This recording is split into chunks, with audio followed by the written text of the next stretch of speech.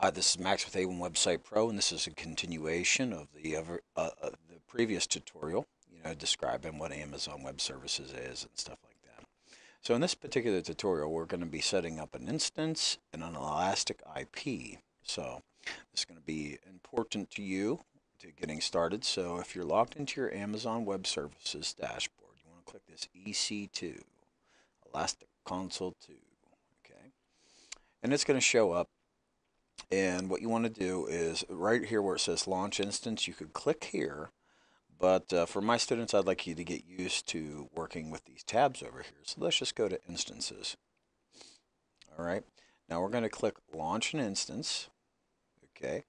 Now right down here, I like Ubuntu, so I'm going to use it to Linux server. And uh, I can do things faster on it. So I click select. Now notice this free tier eligible. Okay. We're good for up to 750 hours for the four first 12 months for free, okay, for these micro instances. So you want to keep that in mind. And then what we're going to do is click uh, um, configure instance details. All right. So we have, you know, number of instances, network, so on and so forth. Uh, there's your subnet. You can leave everything here to default. So we're going to go back here we're going to just click review and launch. All right. Now, because we want to get started right away. So now notice it gives us, it prompts us for the uh, security instance wizard. Okay. Now that's for this down here, 0.0.0.0. Anybody can SSH into your server. And By SSH, SSH, I mean terminal. Okay, so not that this is going to be a big deal because of the fact that you have to have a key value pair, which we're going to go over in order to uh, you know, go to the server, but you're going to need some other stuff too. So I want you to go up here, click Edit Security Groups, all right? So we have the SSH, TCP, IP. Now you could leave this to zero, but I mainly work from one central location and, uh, you know, so I, I could just select my IP. Notice it automatically puts it in there for me. Okay. And then I can add another rule because I want people to be, uh, I want to be able to access it from the internet. So it's an HTTP rule. Okay. And then we'll leave anywhere in there. The next one is HTTPS. I would want to keep that in there. So if I ever have an SSL, you know, anybody could access it anywhere. And since uh, we're going to be using PHP and MySQL database, we want to scroll down here where it says MySQL Aurora. Have that. And uh, one of the things it's going to give you a warning here, uh, you know, you could leave it to custom IP or anywhere, but you'll see that, you know, rules, you know, they, they get a little bit funky about that. So we'll just we'll just go ahead and set that to my IP. All right.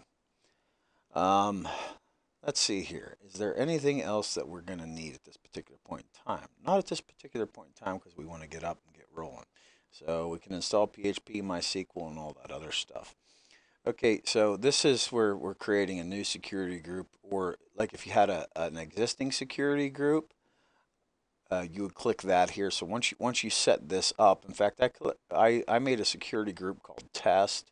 You know that I could I could just use it. It has all everything that I need: HTTP, SSH, you know, MySQL, HTTPS, and I could just choose that. So if, as I continue to make new instances, it's just easier for me. Okay, so I'll click Review and Launch, and you see I get my Ubuntu server 14.04 Click launch.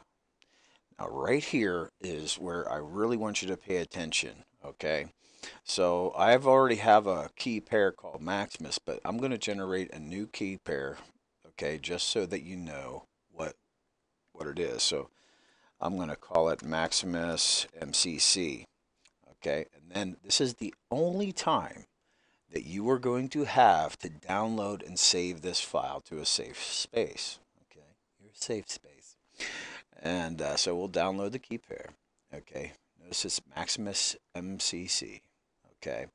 Now, the best place to put this is in your home folder.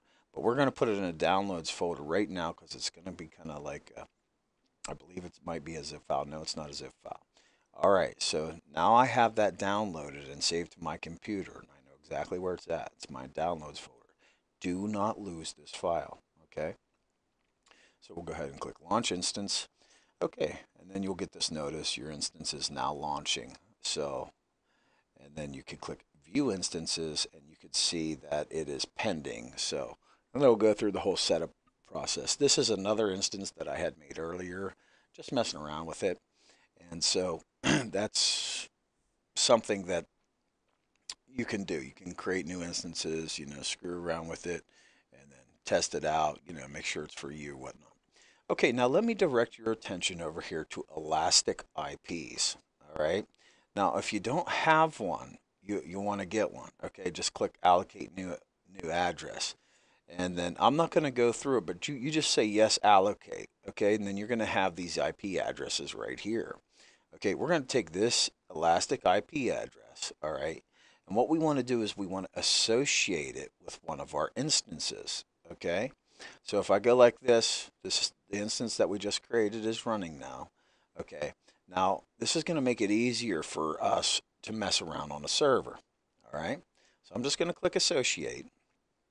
Now, to make sure that this particular uh, IP address is associated, this elastic IP address right here, Okay, we want to make sure this dot six is associated with an instance. So let's go to instance. Okay, the one that's running. Look down here, this elastic IP. Okay, that's that's what we're going to use to connect.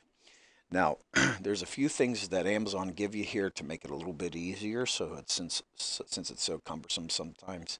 So you, you click on the instance that you want to connect to. And up here, go to Actions and then Connect. And right here, they will give you an example of how you're, connect via SSH. So you could right click and copy and then just close that. But we're going to be connecting with the Elastic IP address that we had set up. And I'm going to show you uh, how to do that in the next tutorial. But you, but this is what you want to do. Click on there, you know, connect, and then you'll get your connection stuff. Now, for those of you that are running Windows, you want to connect using PuTTY. Uh, Mac, you already have a terminal, so you're good to go. Uh, now, this PuTTY with Windows 10 as of this date is still not uh, working properly, so I don't know if those guys fixed it yet or not, but uh, that's what you have to use. Otherwise, uh, you have to install a Linux program like I'd have.